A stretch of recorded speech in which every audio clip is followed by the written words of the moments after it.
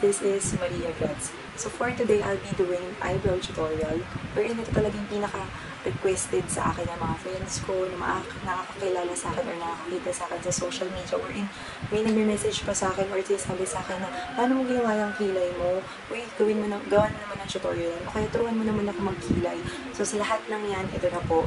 So this is uh, an eyebrow tutorial na sana po makatulong sa inyo. So, uh, disclaimer lang po, I'm not uh, a makeup artist, I'm just a makeup enthusiast wherein talagang mahilig lang akong mag uh, kolorete, magayos, magpaganda. So ayan, so if you wanna know how I do my eyebrows, please keep on watching. Okay, so ang first natin gagawin for the kilay tutorial is mag-outline muna tayo using a pencil. Ako, I'm, I'm fond of using a pencil, no? Excuse me. So, ang ginagawa ko, ina-outline ko muna siya. Starting from the bottom, middle.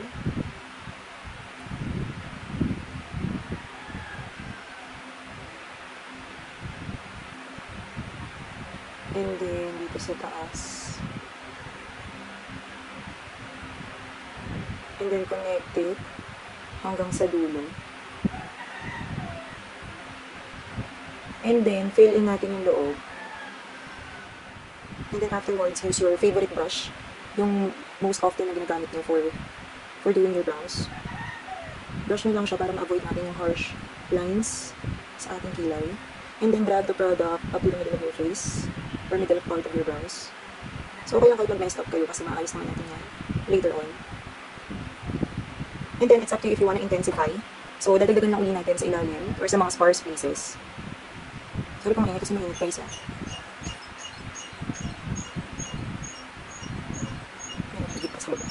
And then brush it again.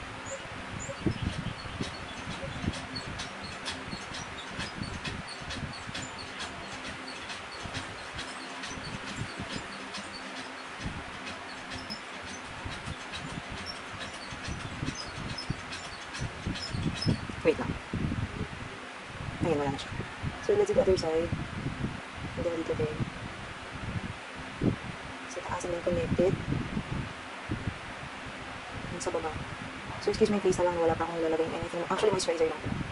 So, fill in the, fill in your brows. And then afterwards, brush it.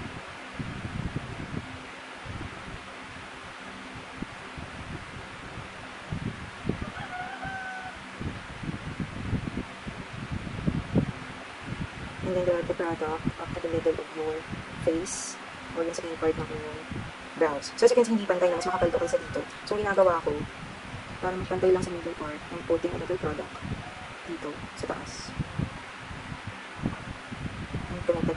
So para magpantay ito, tsaka to. Yung middle part nito, tsaka yung middle part nito.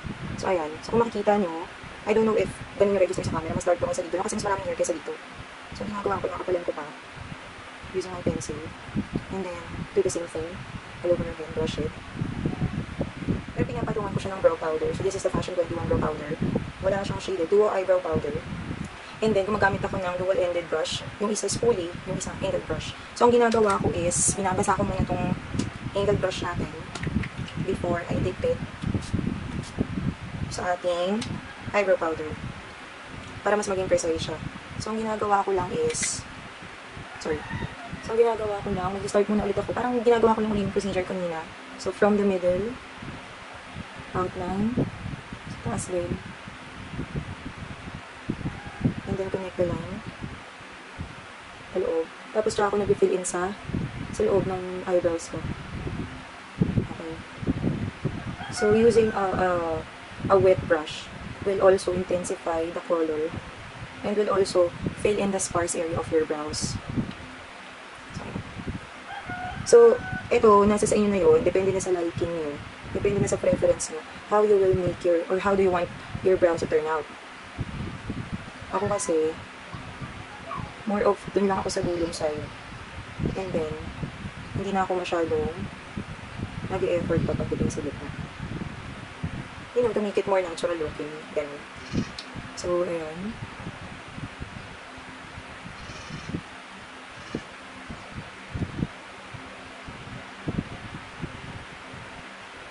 Talagang ganun guys ha, may mga sparse areas talaga sa hair. Lalo na if you encounter yung ginalaw yung brows nyo ng, ng ibang tao tapos nag-iba na yung growth ng hair.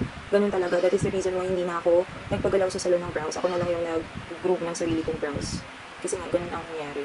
So, huli atang may nag-groom ng brows ko is kasal pa ng kaibigan ko. So, sobrang ninipisan niya kasi yung aking brows. Hindi ko talaga siya nagustuhan. So, ayan.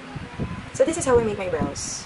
Actually, ganito lang yun. Yung, yung nakita niyo sa previous pictures and videos na in-upload ko, halos ganito ko lang ginawa yung brows ko. So, I will do the same thing on the other side. O kasi pinapantay ko na lang dito sa kabila kung gaano ka-intense yung kabila. Ganun din dito. And ang maganda kasi guys, pagka ginagawa ko to, I don't do retouch all day. Okay?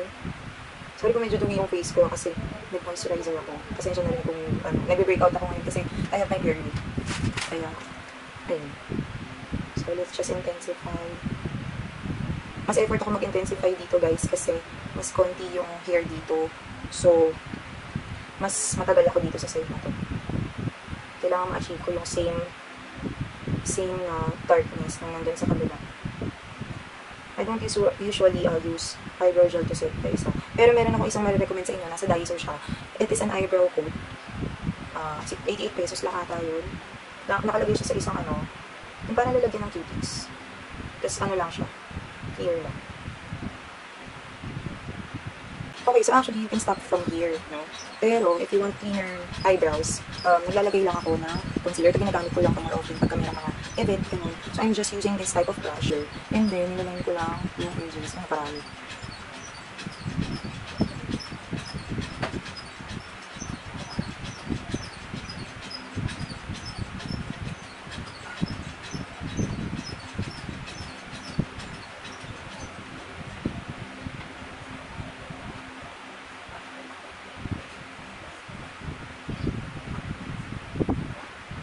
Para mas mga din yung kilay natin.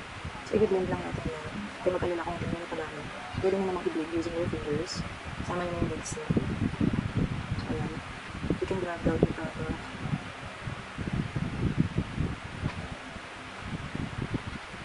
Ayan, tapos na yung dalawang ah, kilay. So, hindi na ako naglalagay sa taas since magpa-foundation pa ako.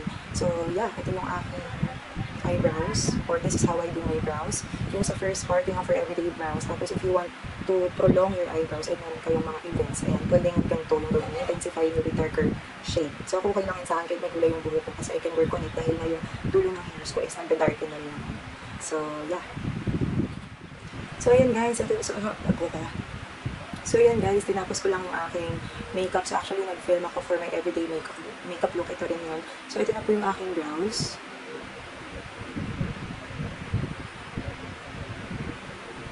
Okay. So, ito yung brows yung ginagawa ko pagka gusto ko maganda yung register niya sa camera or mayroon akong kailangan puntahan, puntahan ng importante. So, ayun, sana meron kayong tunan and sana kahit pa paano nakatulong to para sa inyo. So, if you like this video, kindly do um, hit the like button, kindly do subscribe on my channel and hit the bell button na rin para ma-notify kayo sa mga videos na i-upload ko in the future. So, again, this has been Maria Gratz and see you again on my next video. Bye!